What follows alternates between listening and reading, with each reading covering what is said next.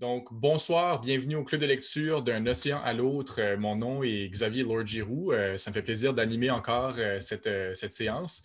Ce soir, on discute du roman néo-écossais La coucheuse de Scott's Bay de l'auteur Amy McKay, qui a été traduit en français par Sonia Malaborza. La version francophone est parue en 2020 aux éditions Prise de parole. Et puis, je suis en compagnie ce soir d'Ariane Brun. On a pratiqué ça en plus. On a pratiqué ton nom, Ariane Brundelre. Euh, euh, bonsoir, Ariane. Bonsoir. Ça me fait très plaisir ici. Et euh, Dan Godin. Bonsoir, Anne. Bonsoir, Xavier. Très content de vous avoir avec nous. Je vais avoir la chance de vous présenter dans quelques, dans quelques instants. Un mot d'abord euh, sur euh, notre club de lecture. Donc, c'est une initiative du regroupement des éditeurs franco-canadiens. À tous les mois, nous vous proposons la lecture d'un livre canadien que vous pouvez emprunter gratuitement en format numérique sur le site Web de notre partenaire, la Bibliothèque des Amériques. Donc, pour ceux qui nous écoutent en direct, je vous invite à nous faire part de vos commentaires dans la section commentaires euh, sur Zoom. Et puis, si, vous, si vous nous écoutez en direct sur Facebook, vous pouvez aussi nous écrire, mais sachez qu'il y a un petit délai. Donc, ça se peut qu'on reçoive vos messages un peu plus tard que si vous étiez avec nous sur euh, le Zoom. Mais ceci dit, on va, ça va nous faire un plaisir de répondre à vos questions. Donc, n'hésitez surtout pas à les inclure dans, la section. Et puis, on a déjà des gens qui nous écrivent, euh, notamment un de Porto Rico. Donc, bonsoir à ceux euh, à l'international et partout à travers le pays. Alors, un mot sur nos panélistes ce soir. Euh, tout d'abord, Anne Godin euh, a été animatrice et journaliste pour Radio-Canada durant 32 ans. Durant sa carrière, elle a eu dans ses émissions des chroniques littéraires pour encourager les gens à lire. Anne Godin a fait de nombreuses émissions dans différents salons du livre. Elle a interviewé de nombreux écrivains, des écrivaines aussi. Maintenant, à la retraite, elle continue de s'intéresser à la littérature en travaillant, entre autres, au Salon du livre de, Dieppe, au Nouveau-Brunswick, comme animatrice et intervieweuse. Anne est aussi la co-auteure du livre Saveurs d'Acadie, euh, qui parle de la gastronomie acadienne. Et puis, elle a eu la chance de présenter son livre euh, un peu partout à travers le pays, au Québec, entre autres, en France et surtout en Acadie, dans les salons du livre. Anne, euh, je sais qu'il y a beaucoup de nourriture, de plats dans la couche de Scotts Bay. Est-ce qu'il y en a un qui t'a parlé plus que d'autres? Euh, oui, le gâteau à la melasse. Parce que, parce que Madame B, la coucheuse, ah non, tu as fait le gâteau. j'ai fait, j'ai fait le gâteau. Ah! Si vous étiez chez moi, dans un vrai club de lecture en présentiel, je vous en servirais un morceau ah, avec du beurre, c'est vraiment bon. C'est tellement bon. Mais oui, parce que le gâteau à la melasse, on servait ça aux femmes qui venaient d'accoucher pour leur redonner des forces avec du thé. Alors, on en parle souvent dans le roman. Puis je me souviens que chez les vieilles euh, acadiennes, on faisait ça aussi. J'ai lu ça quelque part. Dans mon livre, je n'ai pas la recette du pain à la glace, mais chez Carianne, elle l'a trouvé dans le livre original en anglais, là, de House. Mais j'ai des galettes à la melasse parce que les Acadiens cuisinaient quand même beaucoup avec la mm-hmm. melasse, donc on trouve la recette de galettes à la melasse. Je connais plus les oh. galettes, moi aussi, mais le gâteau est pas pire, je dois dire. Mm. Et puis, je présente notre deuxième panéliste, euh, Ariane Brun-Delray, originaire d'Ottawa. Elle est présentement stagiaire postdoctorale Banting à l'Université de Montréal, où elle étudie l'inscription de la francophonie canadienne dans la littérature québécoise récente. Elle est spécialiste des littératures franco-canadiennes euh, qu'elle a eu l'occasion d'étudier dans le cadre de ses études de maîtrise de doctorat. Grande tricoteuse, elle aimerait beaucoup faire partie euh, de la Société des brocheuses occasionnelles, comme les personnages dans la coucheuse de Scotts Bay. Donc, toi aussi, Ariane, tu as trouvé un peu ton compte euh, dans cette espèce de, société féminine qui est mise en scène dans le, dans le livre. En fait, j'ai l'impression que le roman contient tout ce que j'aime, incluant le tricot. Je note aussi qu'il y a plusieurs tricoteuses euh, qui nous écoutent euh, sur Zoom. Donc, je salue Caroline Boudreau et Sonia Malaborza, la traductrice, qui est une très grande tricoteuse. Ah, le pied. Elle ne voulait pas qu'on dise qu'elle serait là ce soir, mais oui, la oh! traductrice est, avec nous, donc euh, elle est démasquée. mais ça nous fait plaisir de, de l'accueillir. Je ne savais pas que c'était que nous qui voyons les noms des gens, donc je ne dévoile plus aucune identité. Je pense pas qu'il y ait de problème. Je veux dire, euh, euh, c'est pas un secret qu'elle est intéressée par ce qu'on fait avec euh, et, ce qu'on a à dire finalement au sujet du livre dans le film de lecture. Donc, en tout cas, mais si vous adressez une question à la traductrice, peut-être qu'elle pourrait même y répondre directement, mais je ne vais pas la mettre sur le spot. Alors, commençons, rentrons dans le, dans le vif du sujet. Donc, le livre, on est là pour en parler pour les, prochaines heures à peu près. Donc, commençons avec, euh, ben, c'est où Scotts Bay? Euh, c'est en Nouvelle-Écosse. Euh, si vous regardez une carte, vous voyez qu'il y a comme une espèce de gros bassin au centre de la Nouvelle-Écosse. Et puis, Scotts Bay se trouve dans l'espèce de crochet qui se trouve à l'entrée de ce bassin-là. Donc, c'est un petit village. J'arrive même pas à trouver la, population actuelle de ce village-là, mais on me dit que Amy McKay y demeure encore. vous avez peut-être entendu parler du Cap Blomidon. Qui est un, parc provincial qui est tout près de, Grand Pré, qui est un lieu de, de, pèlerinage important pour les Acadiens. Donc, ça se situe dans cette région-là, qui est assez montagneuse et évidemment sur les abords de la baie de Fundy, où on trouve les plus grandes marées du monde. Qu'en est-il du, roman, du récit? Euh, est-ce que Ariane, tu peux nous en faire un résumé? Oui, donc en fait, le récit se passe vers, 19, je pense qu'on commence en 1916. On est justement à Scotsby et on va suivre essentiellement euh, quelques années clés dans la vie de Dora, qui est le personnage principal. Elle a 17 ans environ au début euh, du livre. Elle nous raconte même un peu son enfance et son adolescence. Elle vient d'une famille très nombreuse, donc elle a six frères, euh, six frères seulement. Elle, c'est la première femme depuis cinq générations. Euh, ses parents ont pas beaucoup de moyens. Et donc, elle qui rêve de se marier, d'avoir des enfants, ne sait pas si elle va être capable de faire ça, surtout que beaucoup de jeunes hommes sont en fait partis à la guerre. Euh, donc, il n'y a pas beaucoup d'options qui se présentent à elle. L'autre, euh, jusqu'à ce qu'en fait, dans le fond, la, guérisseuse et la sage-femme euh, du coin, Madame Babineau, Marie Babineau, qu'on appelle aussi Madame B ou Mme B, va offrir de la prendre son aile. Et donc, on va voir Dora apprendre le métier de sage-femme, de guérisseuse, mais aussi déchirer entre, c'est un terme très, très, très actuel en fait, de déchirer entre son emploi, sa vocation et ses rêves de foyer, de maternité, et ainsi de suite. Puis on va voir comment elle va réussir ou pas à concilier ça, dans le fond, à travers euh, le roman. Elle devient femme, en quelque part, Dora à travers le livre. On suit son, parcours-là, oui. C'est ça. Elle passe de l'adolescence à l'âge adulte. Et puis, tu les as nommés, donc Dora Rare euh, et puis euh, Marie Babineau, qui sont les personnages principaux du, du, roman, surtout Dora. Est-ce que, Anne, tu peux nous en parler un peu plus? Peux-tu nous décrire qui sont ces personnages-là? Bien, ce sont deux personnages assez fascinants. Bon, ben Dora, c'est bien sûr la jeune fille. Elle a 16 ans lorsque Mme B vient la chercher pour assister à son premier accouchement, qui ne se passe pas très bien d'ailleurs, chez Mme Ketch. Euh, Dora, c'est une fille qui s'intéresse à tout qui est curieuse, qui lit beaucoup, même des choses interdites, parce a sa ma tante Francine qui a des livres. Et là, elle va fouiner un peu dans la bibliothèque de ma tante Francine. Puis, elle lit même des livres romantiques. Donc, elle, elle s'imagine un peu l'amour, le romantisme. Mais elle va s'apercevoir que les hommes de Scottsby ne sont pas très romantiques, ce côté-là. Euh, donc, Dora, elle a toujours été un peu intriguée par Madame B. Et euh, Madame B, elle, en fait, Madame B, c'est peut-être le personnage le plus fascinant du roman. C'est un personnage mystérieux, énigmatique. Madame B, c'est une Acadienne. En fait, c'est la descendante du dernier bébé né en terre d'Acadie avant la déportation. Louis Fer Leblanc, donc, il est né, mais il a été déporté bébé en Louisiane. Donc, elle, Madame B, Madame Marie Babineau, elle est née en Louisiane. Euh, son ancêtre était guérisseur, un peu ça court dans la famille, ça. Et euh, à un moment donné, c'est qu'elle elle songe, elle rêve, elle rêve que Louis Fer vient lui parler et lui dit il faut que tu retournes en Acadie. Alors, elle va retourner en Acadie, un petit peu comme Pélagie la charrette qui revient en Acadie. Et là, ben, elle se retrouve à Grand Prix, puis elle est très déçue parce que Grand Prix, en fait, n'existe plus. C'est les Anglais qui sont là, les anglophones. Elle va courir, s'évader, puis elle se ramasse dans ce petit village-là de Scotts Bay.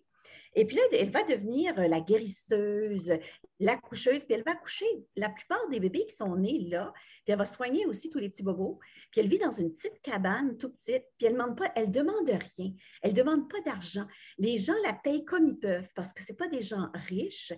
Euh, donc, on lui apporte des patates, des choux, toutes sortes de choses, des œufs au, pied de sa porte pour la récompenser des accouchements. Les gens de la communauté euh, l'aiment, sont attachés à elle, mais la craignent un peu parce qu'elle a quelque chose d'une vieille sorcière, là, Madame B. Mais Madame B, elle vieillit. Elle sent qu'il faut quelqu'un pour la remplacer, puis elle a l'œil sur la jeune Dora. Et pourquoi? Ça fait longtemps qu'elle a l'œil sur Dora parce que Dora, euh, lorsqu'elle est née, elle avait une coiffe devant les yeux. Et à l'époque, on croyait que ça portait chance, mais Mme B, elle a dit ça, c'est un signe. Donc, elle va, euh, à l'âge de 16 ans, aller chercher Dora pour l'aider à accoucher. Finalement, les parents. Je, t'arrête un peu parce que est-ce qu'on peut expliquer qu'est-ce que c'est la coiffe? Parce que moi, je l'ai ah, pas compris. La... la coiffe, c'est. OK, je t'explique qu'est-ce que c'est du côté médical. Là. Oui. OK, il y, a il y, a la poche amniotique, le seau, le, ce qui englobe le bébé, là, la poche mm-hmm. d'eau amniotique. Mais ça arrive très rarement, dans certains cas, quand le bébé sort, a, une, euh, que la peau euh, recouvre le visage du bébé. Fait qu'on appelle ça une coiffe. Et autrefois, quand ça arrivait, les gens disaient que c'était quelqu'un de spécial. Euh, ça portait, il fallait garder cette coiffe-là. On, on, faisait sécher ça, on gardait ça et ça valait très cher parce que ça portait chance et qu'un enfant né avec une coiffe avait quelque chose de vraiment spécial. Alors, c'est ça qu'on appelle la coiffe. Donc, déjà, dès sa ben, naissance, Dora est, spéciale, elle est marquée. Elle est déjà spéciale. Elle est déjà spéciale. Elle est déjà une attirance parce que Dora allait voir Madame B, même quand elle était petite et tout ça. Donc, à un moment donné, euh, ben, c'est ça, elle va se retrouver chez Madame B, comme un peu Ariane le racontait. Mais le personnage de Madame B est fascinant. Pourquoi? Parce qu'elle, elle a un franc-parler. Elle n'a pas peur des hommes. Les femmes, dans ce temps-là, ne parlaient pas aux hommes, ne répondaient pas aux hommes, mais elle, elle répond. Donc, mhm. elle a ce franc-parler, elle n'a elle elle pas peur de ce, qu'elle, de ce dont elle, croit en des choses, puis elle n'a pas peur d'en parler. Euh, c'est une femme forte tu sais, des femmes fortes acadiennes, genre, on l'a comparée un peu à la Marie Como. Moi, je la compare aussi à la Marichette, la fameuse, le personnage de Marichette, même un petit peu à la Sagouine, qui sont des personnages acadiens très forts. Donc, euh, c'est ce genre de personnage-là. Et euh, c'est ça qui rend le roman intéressant. C'est sûr que Dora est très intéressante aussi. Puis tous les autres personnages, il y a ma tante Francine, mais la Sainte Nétouche qui s'envoie en l'air avec le pasteur. Tu sais, comme il y a plein de personnages. Le, docteur Thomas, qu'on adore haïr parce qu'il est horrible, le docteur Thomas. Euh, euh, je veux dire, il veut que Mme B cesse d'accoucher parce que sa belle, clinique, là, toute stérilisée. Et euh, c'est ça, alors. En tout cas, il y a plein de beaux personnages là-dedans. On aura la chance d'y revenir entre ce conflit-là entre médecine naturelle, médecine traditionnelle, entre les hommes et les femmes. Avant, Ariane, je vais te céder la parole. Est-ce que toi, tu as quelque chose à rajouter au sujet des personnages principaux du récit? Je pense qu'Anne les a très bien décrits, mais j'ajouterais qu'autour de ces deux personnages principaux-là se greffe toute une communauté qui est quand même assez divisée en, en, en groupes. Il y a des espèces de ben, on a parlé tantôt des, des, brocheuses occasionnelles, euh, mais aussi toute cette communauté de femmes. J'espère qu'on aura l'occasion d'en reparler, qui va soutenir Dora, puis qui va être présente pour elle dans les moments difficiles, notamment quand ce sera le temps de s'opposer au docteur Thomas. Moi, j'avais envie de commencer avec, euh, en, parlant de, de grossesse, d'accouchement, mais on dirait qu'on se dirige tranquillement plus déjà vers la solidarité féminine, la condition féminine de l'époque. Donc, peut-être qu'on peut, on peut aller dans cette direction-là puis revenir à la médecine euh, par après. Donc, euh, donc quel, est le contexte finalement de, ce roman-là? Ben, ça se passe en 1917, c'est la guerre. Euh, Bay, c'est l'endroit où est-ce qu'on bâtit des, bateaux justement qui partent euh, en guerre. Et puis, il y a des frères, certains frères de Dora qui vont euh, aller combattre en, Europe. D'autres garçons du, village aussi. Et puis, où est-ce que j'allais avec ça? Donc, c'est ça. Donc, les, femmes se retrouvent un, peu entre elles pour finalement euh, brocher, faire, du, faire le, tricot, et puis elles s'aident entre elles aussi à accoucher. Puis, euh, et, ce, que, je veux dire sur le contexte aussi, c'est qu'on n'a pas le droit de vote. Les femmes n'ont pas le droit de vote à cette époque-là. Donc, 1917, c'est euh, trois ans avant que les femmes de Nouvelle-Écosse acquièrent le droit de vote.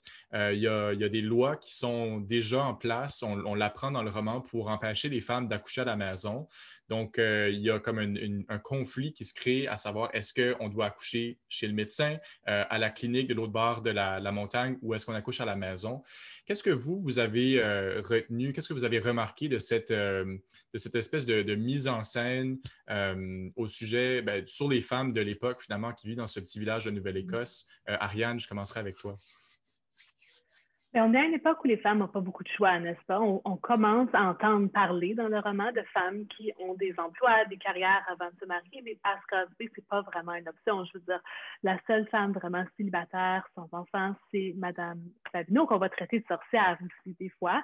Les autres femmes ont des familles nombreuses et c'est ce qui les tient occupées, en fait, au quotidien. Je veux dire, elles ont un, deux, trois, quatre, des fois douze enfants, comme dans le cas de Espérance 4, euh, je pense que c'est ça son prénom, Espérance. Donc, c'est ça qui va les occuper. Et puis, elles n'ont pas le soutien, ou en tout cas les moyens nécessaires, et c'est ce qui va mener, je pense, au fait qu'elles vont se regrouper, puis être solidaires entre elles et se rejoindre euh, comme ça.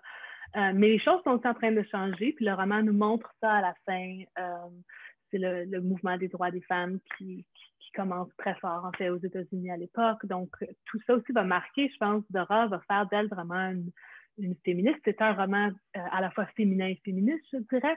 Et euh, on voit qu'on est vraiment dans une période de transition pour les femmes qui va durer longtemps, on s'entend. Je veux dire, on est en 1916, ça va prendre beaucoup, beaucoup de temps pour que les choses changent vraiment. Il y a encore des choses qui sont extrêmement d'actualité. Je veux dire, le débat par rapport aux sages-femmes, aux officiers gynécologues est encore très présent. Les maisons de naissance, on commence juste vraiment à avoir ça, vraiment, dans certaines villes. Donc, on, on a fait du grand progrès depuis cette époque-là, mais c'est encore, j'en revenais pas en fait à quel point c'était d'actualité aussi en même temps. Ça ressemble quand même beaucoup à. Ben, c'est peut-être un ancêtre justement des débats qu'on connaît aujourd'hui, surtout au niveau de, l'avortement, qui est plutôt sur la place publique, c'est qu'on entend beaucoup sur la place publique. Toi, Anne, comment est-ce que tu as perçu cette, euh, cette, mise en scène de la, de la condition féminine, de la solidarité féminine euh, à Scotts Ben écoute, je trouve que c'est fantastique. C'est ce qui m'a vraiment plu le plus dans le roman. Quand je vois les femmes se regrouper avec ce club de brocheuses où tous les mercredis, elles se, ramassent pour tricoter des bas pour les soldats, mais c'est un prétexte.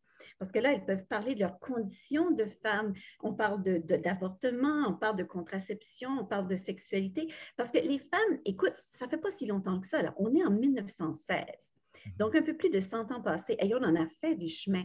Les femmes euh, n'ont pas droit même de parler de contraception, ne peuvent pas contrôler les naissances. Les femmes n'ont pas le droit de refuser les faveurs sexuelles de leur mari. Euh, les femmes n'ont pas beaucoup de droits. Elles doivent euh, avoir des enfants, les soigner. Madame Ketch, écoute, ça, c'est l'exemple typique de pauvre femme, euh, au début du roman, lorsqu'elle va accoucher prématurément de son bébé, et puis elle est en douleur, son mari rentre à la maison et dit Hey, mon souper, es-tu prêt? Mhm. elle, est en douleur et puis elle n'arrive pas à, se lever pour préparer son souper. Il va lui donner un coup de pied. Écoute, elle est en train d'accoucher et lorsque euh, Madame B arrive avec Dora, elle est déjà assez mal en point. Son mari là-bas. Donc, il y a de la violence conjugale et on voit que c'est accepté, la violence conjugale. Et euh, c'est pas, pas, un secret. Euh. Non, c'est pas un secret. Les maris sont, écoute, euh, sont, comme ça et c'est comme ça que ça se passe. Mais ben, de plus en plus, parce que les femmes vont commencer à en parler dans le roman, vont commencer à, s'apercevoir que ben, c'est pas si normal que ça cette, violence-là, cette non-communication-là. Il y a quand même des couples intéressants dans le livre. Par exemple, la mère de Dora et son mari semblent être un beau couple. Donc, ça contrebalance beaucoup avec le couple de Mme Ketch et de son mari, qui, euh, tout le long du roman, on revient au, couple de Mme Ketch qui, oh, écoute, ça nous fait, euh, moi, ça m'a fait sursauter sur ma chaise lorsque j'ai lu ça. Donc, on se dit, euh, quand on lit ça comme femme aujourd'hui, on se dit, mais mon doux, qu'on a fait du chemin depuis 100 ans, depuis un peu plus de 100 ans. On a encore beaucoup de chemin à faire, mais c'est pour ça qu'il ne faut pas oublier. Euh, moi, j'entends des, très jeunes femmes me dire, bon, ben, tu sais, le féminisme aujourd'hui, mais je pense que ce roman-ci, je le conseillerais, moi, aux jeunes femmes de le lire. Parce qu'on voit vraiment, euh, parce qu'écoute, il y a eu beaucoup de recherches de la part de l'auteur, de la part de la traductrice aussi dans ce, livre-là. Et euh, ça vient nous chercher. Comme femme, là, ça vient nous chercher. Et la façon aussi dont le corps médical nous traite à cette époque-là. Le docteur Thomas, Écoute, euh, lui, il dit aux femmes, il euh, faut, faut, venir accoucher dans ma belle clinique stérile, toute blanche, vous ne sentirez rien. Ben non, il les assomme à l'éther. Les femmes tombent carrément sans connaissance, il, les amorce sur la table, puis là, il, il, va chercher le bébé avec des forceps. Moi, je suis née en 57. Ma mère a eu ça. Ma mère a dit, je me rappelle absolument de rien. Je suis née avec les forceps, j'avais une tente défoncée, le crâne déformé, puis je ne vois pas d'un œil à cause de ça. Alors, quand j'ai vu la naissance de. Il y a une des femmes qui accouche à la clinique et elle décrit le, cerveau du bébé qui est un peu amoché. Ça m'a fait quelque chose. je me suis dit, j'ai passé, je, suis née comme ça, moi.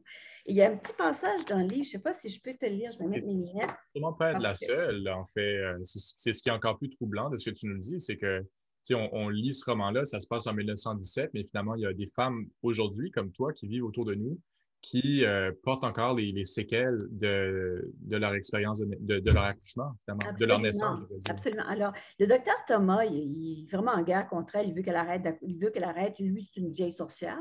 Et puis, il lui dit, Madame B, si vous n'arrêtez pas, là, il va vous arriver quelque chose de terrible. Et voilà ce qu'elle lui répond strapper une femme après une table, puis la ligoter comme une truie pendant qu'elle accouche, c'est ça qui est terrible. Alors, tu vois l'image, tu vois la femme ligotée sur cette table stérile, toute blanche, euh, ligotée comme une truie, tu sais, elle fait la comparaison avec la truie. Euh, c'est quelque chose. Je vais te dire, ça vient, ça vient nous chercher. Le docteur Thomas qui a du chloroforme aussi pour. Euh, ben, il les assomme carrément. Ah, moi, ça m'a fait, ça fait rire, mais pas, pas d'une. J'étais surpris de lire ça, tu sais, ce, dialogue-là, cet échange-là vers la fin du, roman euh, autour de l'accouchement de, de, Ginny. Et puis euh, que le docteur Thomas insiste j'ai du chloroforme, j'ai du chloroforme pour l'assommer, pour pouvoir faire ce qu'il a à faire. Tu sais, c'est terrible. ben, c'est ça. Ma mère ne se souvient pas de ses accouchements. Euh, moi, j'ai vécu trois, ben, trois, accouchements, je m'en souviens, parce que oui, il y a les douleurs de l'accouchement, mais on a vécu nos accouchements quand même. J'ai une, autre question pour, euh, pour Ariane, euh, parce qu'il est question un peu de littérature dans, dans ce roman. Dora va lire des livres de, Jane Austen, Emily Dickinson, si je me souviens bien aussi, et puis son père va brûler ses, ses romans. Euh, juste avant qu'elle commence à, fréquenter Madame B pour apprendre le métier de sage-femme. Et puis, euh, on dirait que par après, Dora cherche à réécrire euh, son destin. Donc, elle s'imaginait prendre Marie, être heureuse, avoir des enfants, un peu comme les, livres qu'elle lisait, euh, ce, qui, ressemblait finalement aux livres qu'elle lisait, mais elle va faire, euh, elle va prendre un, tournant, un peu comme le croche euh, du Cap Blomidon. Elle va, elle, va, elle va aller vers autre chose. Donc, est-ce qu'on sent ça? Est-ce que je suis le seul à avoir remarqué ça dans ce roman ou c'est quelque chose que vous, dont Ariane, Anne, avez remarqué aussi? Non, ben, je suis tout à fait d'accord avec toi, Xavier. dans le sens, ben, Dora, c'est une grande lectrice. Je pense qu'elle lit tout ce qu'elle peut trouver. Autant des traités pseudo-savants, si on veut, là, qui vont parler de la sexualité des femmes de manière complètement dépassée aujourd'hui, mais aussi tous les romans qu'elle peut trouver avant qu'on les brûle, justement. Donc, on parlait du père, ben, des parents de Dora tout à l'heure. Euh, c'est un couple, je pense, très amoureux, mais on voit aussi que son père a toutes sortes de préjugés par rapport aux femmes. Il s'inquiète beaucoup de l'avenir de sa fille, ça va être capable de se marier, tout ça, tout ça. Puis, pendant longtemps, on croyait, ou en tout cas, les hommes, peut-être, croyaient que les romans étaient une, mauvaise influence sur les femmes, que ça allait euh, débrider leur imaginaire. Puis, bref, on en parle aussi dans le roman. Donc, on a on essaie de, proscrire ces lectures-là que Dora réussit à faire. Je pense que ces lectures sont, certainement déterminantes par rapport à ce qu'elle souhaite pour elle-même, mais il y a aussi le fait qu'à un moment donné, elle va se marier, puis elle va vivre certaines déceptions, je pense, par rapport à son mariage, puis se rend compte que c'est pas ça qui va la rendre heureuse. Donc, elle a aussi une expérience de la vie, je pense, combien ces lectures qui, ensemble, vont... Euh, mais c'est sûr qu'elle et euh, Madame B sont entourées de ces personnages-là, de l'univers de Jane Austen et ainsi de suite, qui vont les habiter, et puis c'est une chose pour lesquelles euh, Madame B va la remercier d'ailleurs. Est-ce qu'on sent peut-être un désir de l'autrice euh, Amy McKay de, de, produire cette espèce de grand roman historique acadien, euh, pas acadien, pardon, mais canadien, néo-écossais, euh, et puis qu'on puisse retrouver, je ne sais pas, une espèce de, d'histoire qui nous ressemble, une mythologie plus propre à chez nous que ne le sont ces, romans-là qui ont, qui ont, beaucoup habité l'imaginaire, surtout anglophone, du Canada? Comme oui, Jane Probablement. Oui, oui, probablement. En même temps, je pense que même ici, on lit Jane Austen, on lit Jane Eyre, euh, Emily Dickinson aussi, c'est tant mieux. Mais oui, c'est sûr. Là, on est vraiment dans un univers. Euh, J'aurais adoré lire ce roman adolescente, en fait, je le sais. Euh, et donc, je veux dire aussi par ça qu'il ne faut pas être maman pour aimer ces livres-là. Je ne pense pas qu'il faut être une femme, il faut juste s'intéresser à la perspective des femmes puis à la condition des femmes à l'époque. Donc, oui, il y a sans doute probablement de ça. On est dans un univers très, très canadien, qui est acadianisé d'ailleurs par euh, Sonia Malabarzon. On pourra en reparler plus tard. Donc, oui, sans doute que oui, oui. Mm-hmm. Euh, est-ce que, bon, on a on a vivoté un peu euh, entre la condition féminine, puis euh, on a parlé d'accouchement et grossesse, mais est-ce qu'il y a d'autres choses à, rajouter là-dessus? Euh, parce que c'est quand même central dans le roman. Moi, Xavier, j'aurais quelque chose à dire. à l'époque, tu sais, bon, les femmes travaillaient très, très dur, avaient beaucoup d'enfants, puis on voyait que c'était vraiment pas facile et souvent, ben, elles craquaient. Et euh, quand une femme craquait, quand elle n'en pouvait pas, elle faisait une crise, le docteur Thomas et les médecins de l'époque disaient qu'elle souffrait d'hystérie féminine. Mhm. Parce qu'une femme ne devait jamais dire un mot, devait toujours être douce et gentille, ne jamais crier. Donc, une femme qui criait, qui, qui pétait sa coche, elle souffrait d'hystérie féminine, et même on en parle à un moment donné dans le roman, parce qu'on croit que Dora lorsqu'elle arrose le docteur Thomas de Mélas.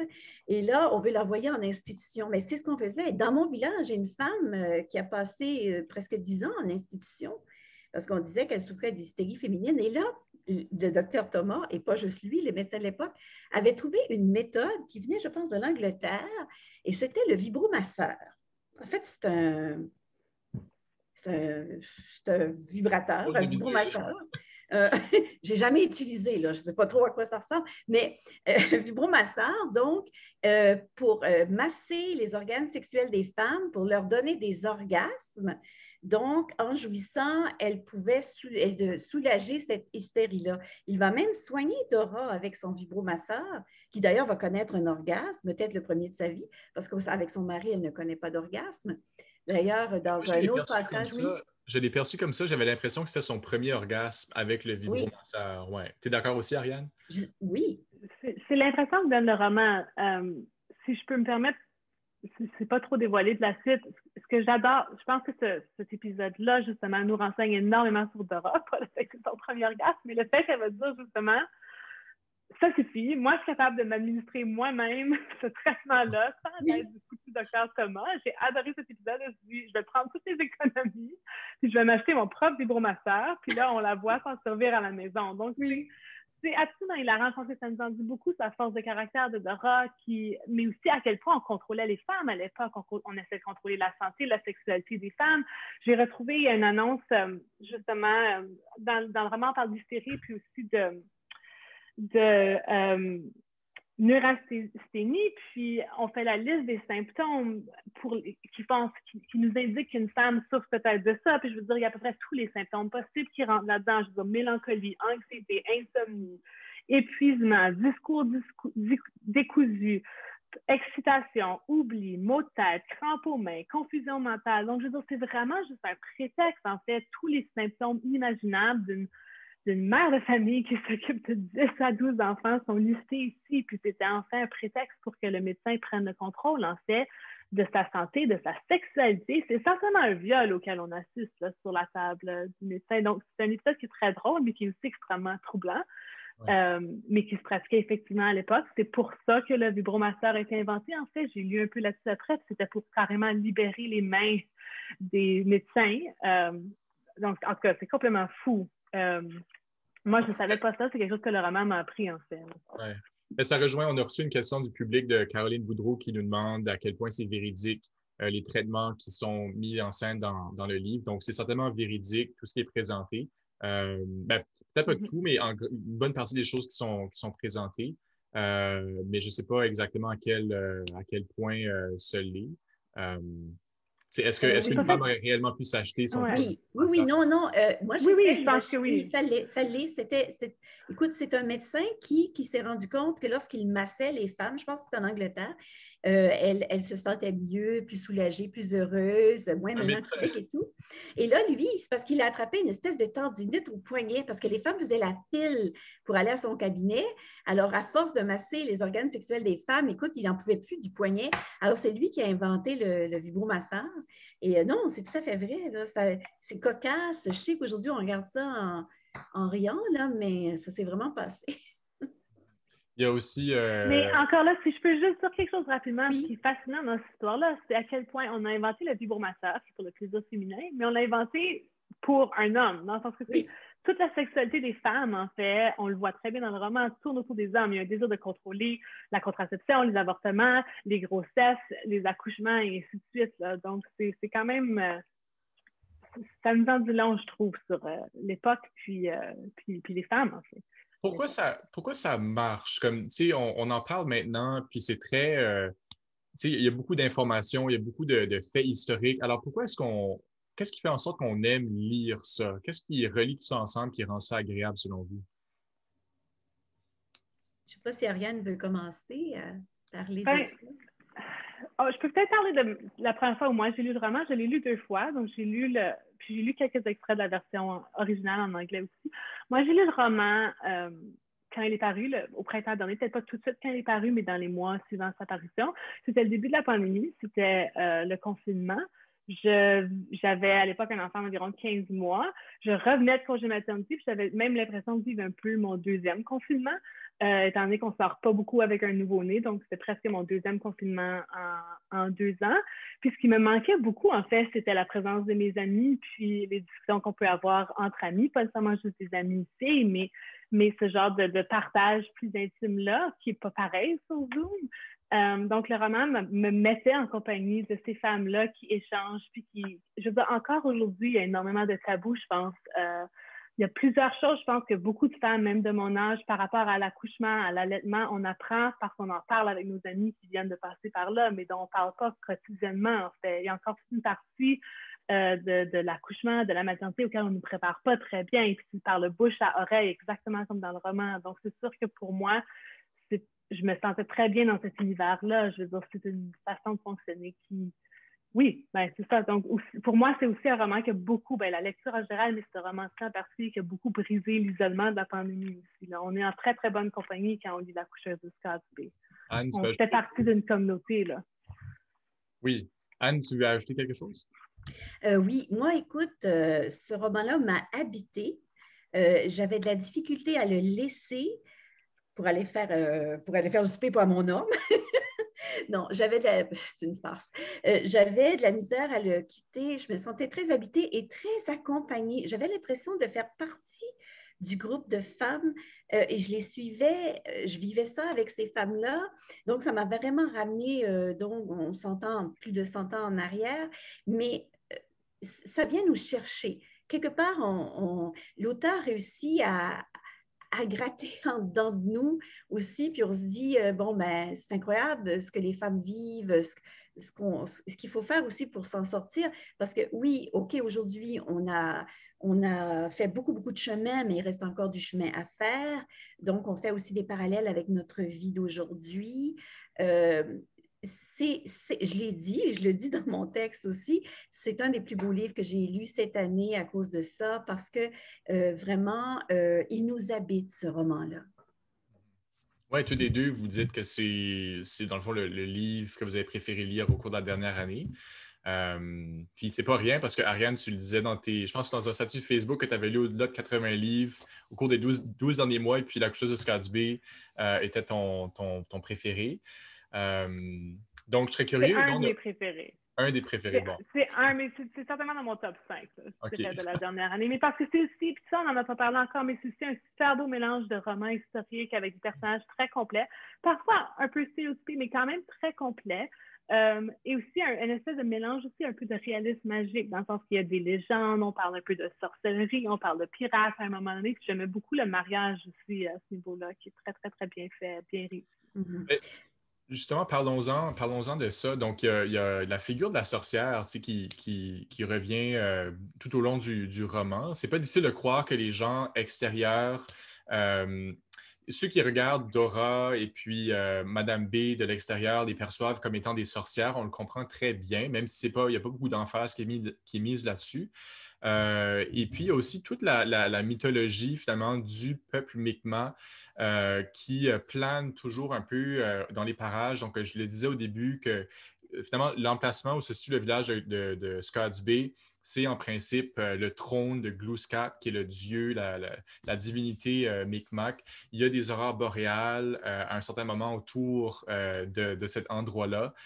puis même pour les Acadiens, c'est un lieu, en tout cas, le Grand Prix est un lieu très important qui n'est pas très loin non plus. Donc, euh, ça joue beaucoup avec, euh, le roman joue beaucoup avec ça. Donc, moi, c'est pas quelque chose que j'avais nécessairement lu dans beaucoup d'autres choses avant. Qu'est-ce que vous, vous en avez pensé de cette, euh, c'est ça, cette présence mystique et qui, réapparaît finalement un peu chez Dora à travers son, bagage génétique? Mm-hmm.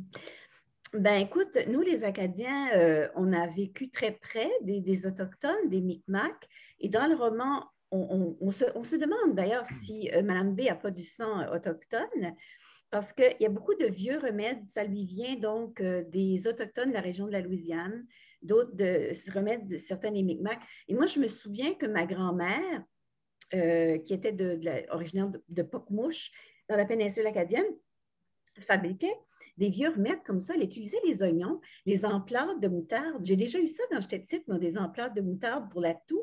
Ça marchait très bien. Euh, puis là, j'ai lu à la fin du livre, il y a les recettes hein, du livre, le grand livre des, des saules, donc de ces concoctions. Euh, je crois que les plantes ont beaucoup de choses à nous apprendre pour nous guérir. Moi, je crois beaucoup dans la médecine naturelle, contrairement au docteur Thomas.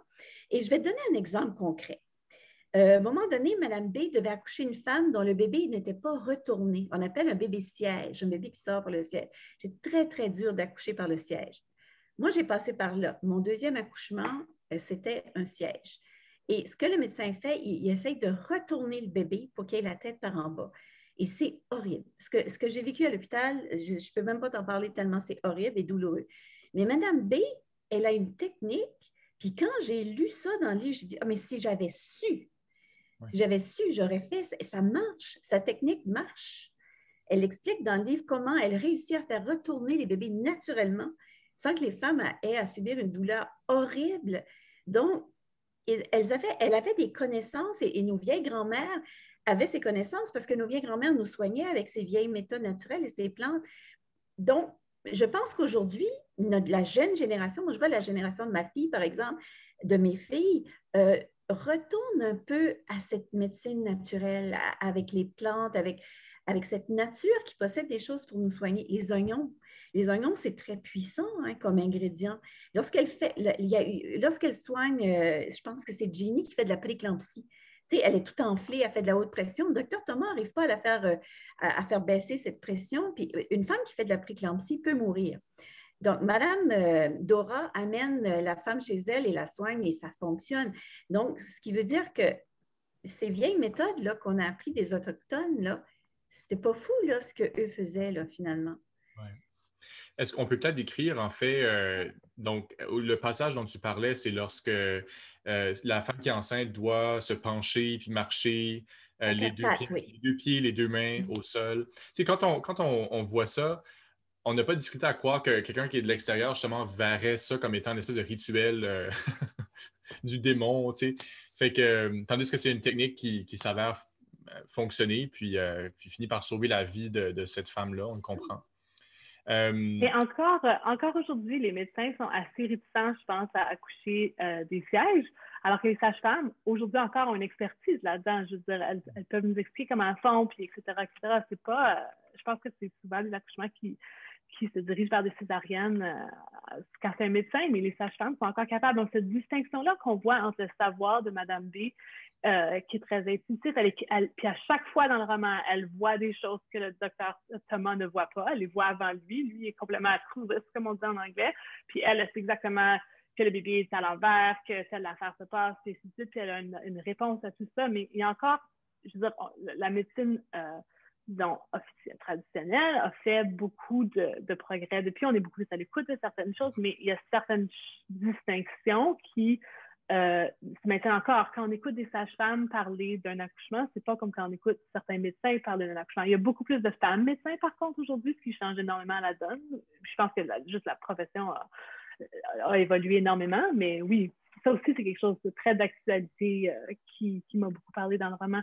Pour revenir à la figure de la sorcière, justement, j'y réfléchissais euh, en lien avec notre entretien de ce soir. Puis, c'est quoi une sorcière, dans le fond? C'est essentiellement des femmes qui aident d'autres femmes parce qu'on refuse, dans le fond, de leur de leur permettre d'accéder à un savoir officiel. On refuse de les laisser prendre des décisions. Donc, qu'est-ce qu'elles font? Elles vont s'aider entre elles. Elles vont trouver des moyens entre elles d'obtenir ce qu'elles veulent, que ce soit la contraception, l'avortement, de tomber enceinte et ainsi de suite. Donc, je veux dire, c'est très louche, mais surtout du point de vue des hommes. Je veux dire, même dans la coucheuse de Scott B, les femmes condamnent peut-être publiquement Madame B, mais elles continuent à aller la voir, à lui faire des dons, puis à recourir à ses services. Donc, on voit aussi à quel point elle est essentielle.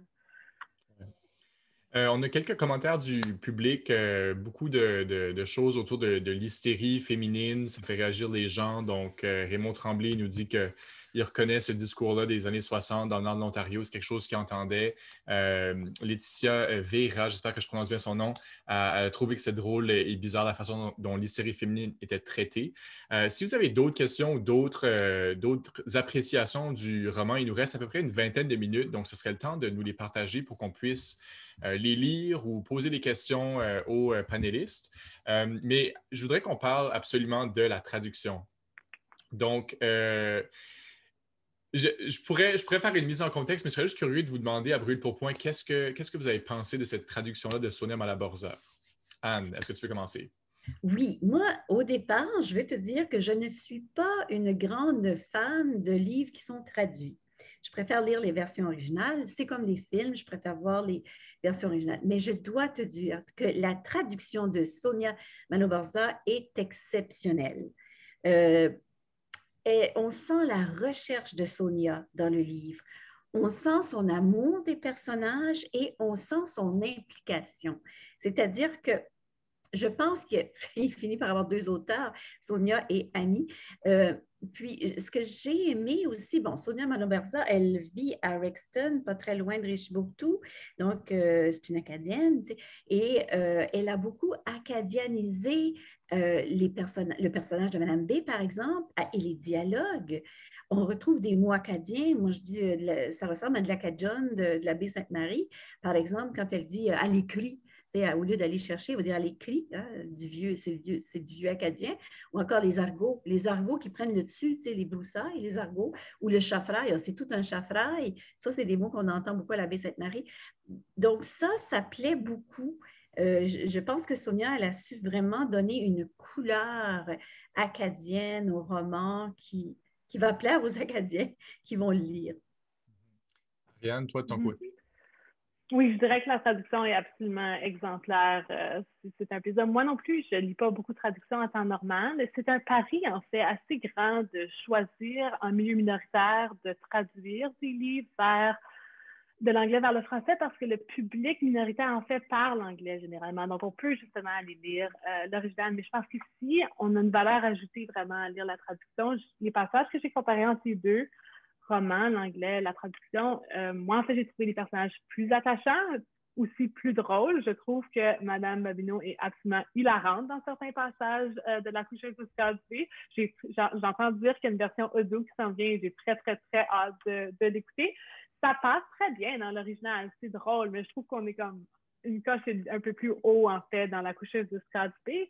Euh, je pense aussi qu'en faisant ça, je pense que Sonia Malaborza, c'est une traduction française, une traduction même acadienne, je dirais. Je pense qu'elle rend visible l'Acadie à travers sa traduction. Puis ça, c'est super intéressant aussi. Le, on, on n'a pas énormément de données à cause de la pandémie sur qui a lu le roman quand. Il n'y a pas eu le même circuit salon du livre que d'habitude, évidemment, mais je pense qu'on a, pu voir que le roman avait une belle visibilité au Québec et donc on a tous ces lecteurs-là aussi francophones qui lisent peut-être moins en anglais, qui vont découvrir l'Acadie, la façon de parler en Acadie euh, à travers euh, la traduction de Sonia Malabarza. Il faut dire qu'elle a quand même choisi un roman qui lui permettait de faire ça, c'est-à-dire que Madame Babineau est d'origine acadienne.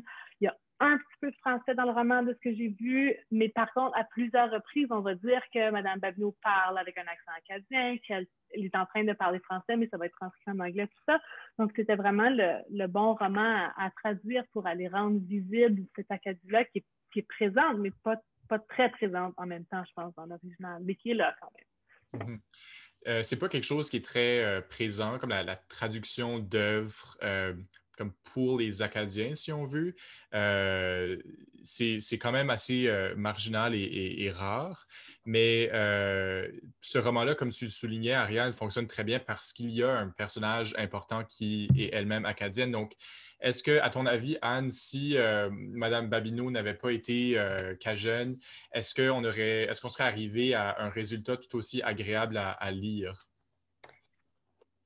Je pense que oui, parce que le personnage est tellement fort, représentatif, que même si elle n'avait pas été acadienne, ça aurait été quand même très, très intéressant.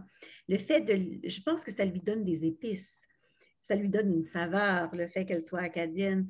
Mais c'est déjà tellement un, beau personnage que cette Madame, euh, Madame Babineau, ça aurait été quand même très intéressant.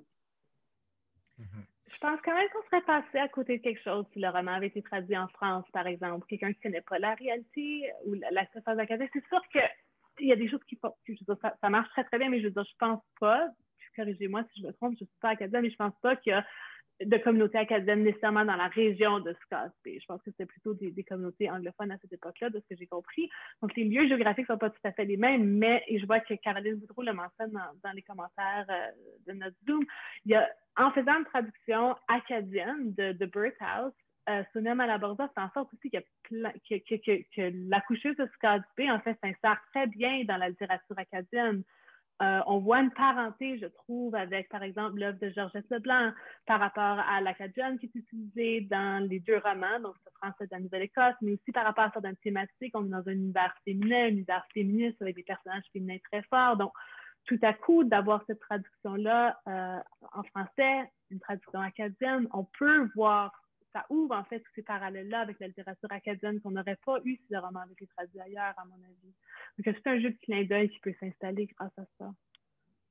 On n'a jamais d'ailleurs l'impression, je dirais, ou à peu près jamais l'impression de lire une traduction euh, quand on lit la version, la, la, traduction. C'est vraiment très, très bien fait. Sonia Malaborda mérite entièrement son nom sur la page couverture. c'est très rare d'ailleurs. La plupart du temps, les, traducteurs, les traductrices n'apparaissent pas sur la couverture. Puis je, suis très contente pour elle que son nom y est je vais, je vais euh, lire ses autres traductions et je vais en m'attendre d'autres, certains. Et elle est pressentie pour être finaliste euh, au prix euh, du gouverneur général dans la catégorie de traduction. Est-ce que ces, ces chances sont réellement bonnes, à ton avis, Ariane? Bien, je ne suis pas une spécialiste de la traduction ni de la traductologie, mais j'ai rarement lu une traduction qui m'a plu autant. J'ai déjà lu des traductions de quelques autres lauréats du prix du gouvernement général en traduction qui m'ont fait beaucoup moins plu, où je trouvais que c'était trop évident que j'étais en train de lire une traduction, puis je sais pas, c'est des choix que les traducteurs font puis qui se justifient pour certaines œuvres et d'autres œuvres aussi. Donc, je veux dire, chaque, une œuvre ne peut pas être traduite de la même façon à chaque fois. Il faut vraiment rentrer dans l'univers puis travailler avec, avec l'univers qui nous est présenté. Mais oui, moi, je pense que je serais très déçue, en fait, si le roman n'était pas au moins finaliste au prix du général. Oui. Euh, on, ah, Sonia Malaborza euh, commente, a dit Vous allez me faire brailler. Mais pour vrai, ça, nous a plu. Je pense qu'on est assez unanime là-dessus. Euh, et puis, pour moi, ben, si je peux juste rajouter un petit quelque chose, euh, je suis peut-être pas le seul à penser comme ça, mais on dirait que quand je vais lire quelque chose qui vient des États-Unis ou du Canada, qui sont traduits en France, il y a quelque chose qui se perd. Donc, d'avoir comme une traduction qui est écrite pour nous, pour le lectorat acadien ou canadien, euh, moi, ça m'a beaucoup plu, puis j'ai vraiment aimé. Euh, c'est une des grandes parts de pourquoi j'ai aimé ce, roman-là autant, c'est la traduction, je dois dire. On, parlait de la couverture. Euh, qu'est-ce que vous en pensez de cette belle image? C'est coloré. C'est coloré. C'est fait par une artiste de, de Moncton, justement, au Nouveau-Brunswick. Et puis, qu'est-ce que vous pensez? Parce que Ariane, tu as les deux versions. Hein? Tu as la version anglophone et la version. Peut-être que tu peux nous les montrer pour qu'on compare. Donc, c'est quand même différent. on voit sur la, version anglaise une, femme enceinte. Je ne pense pas que c'est l'édition originale, mais j'imagine que ça aurait été la même couverture de toute façon.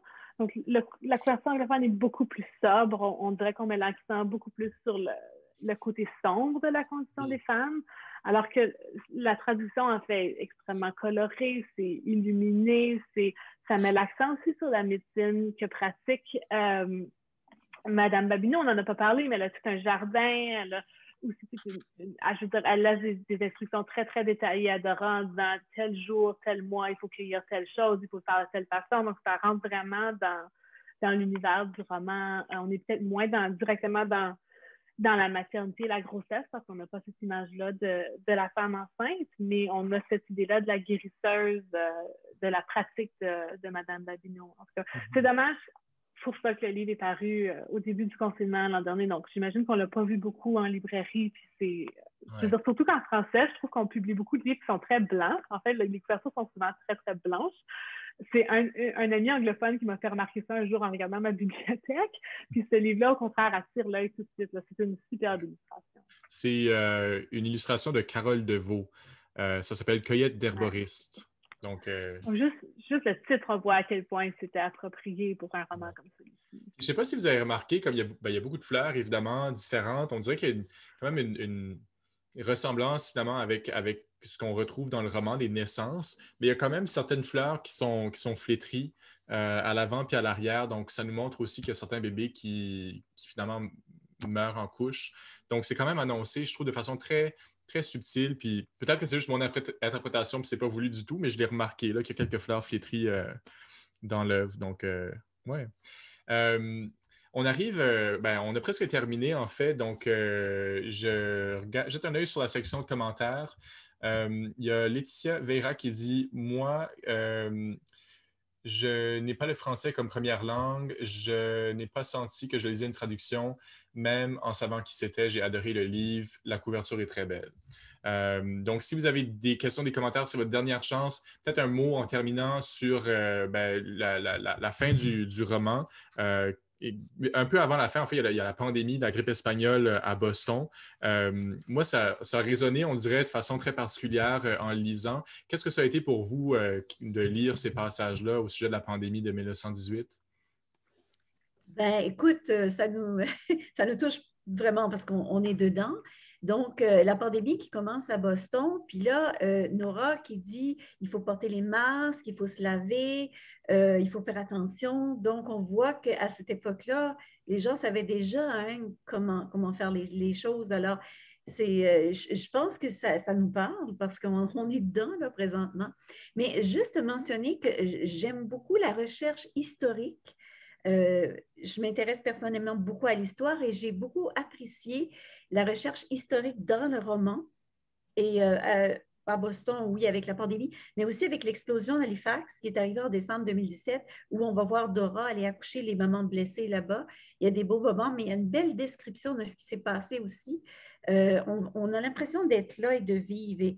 Et, en fait, tout le long du roman, comme je le disais, c'est ce qu'on on a l'impression d'être dans le livre. Là. Mm-hmm. Toi, Ariane, euh, de ton côté? Je pense pas que j'aurais fait très attention à ces passages-là avant la pandémie.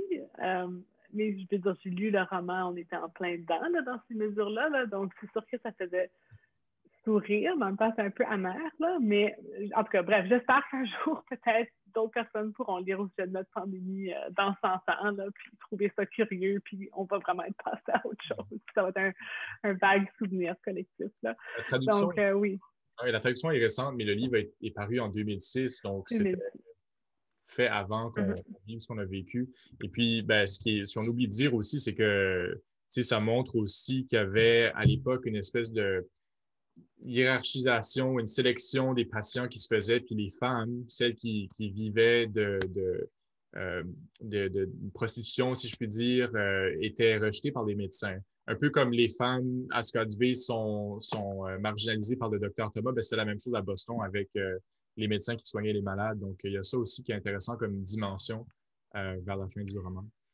On l'a vu aussi avec cette pandémie-ci, si je peux rapidement accéder, comme la marginalisation de certains groupes. Je veux dire, on en a parlé aux nouvelles, que les travailleurs du sexe, par exemple, n'étaient pas admissibles à la prestation d'urgence. Donc, je veux dire, il y a beaucoup, beaucoup d'échos euh, entre le roman à, plein d'égards. C'est un roman qui est extrêmement euh, actuel, en fait. Euh, c'est ça qui est fascinant, je dirais. Mm-hmm. Mm-hmm. Oui, parce qu'on aborde, on aborde des questions, écoute, on, on aborde l'avortement, la contraception, euh, l'homosexualité féminine qu'on retrouve dans le roman aussi. Euh, il y a beaucoup de choses qui s'est passé là, mais qu'on peut ramener aujourd'hui aussi. Oui, tout à fait. Donc, euh, ben, c'est la fin de, cette séance.